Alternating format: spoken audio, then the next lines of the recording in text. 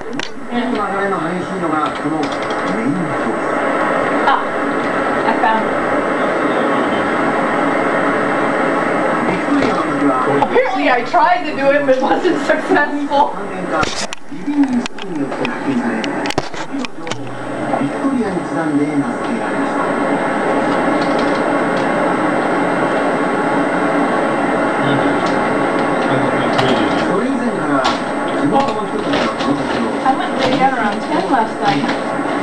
I got up around 11.15 until crazy midnight, bedtime. I went lay back down again. So. It's more like I bought it.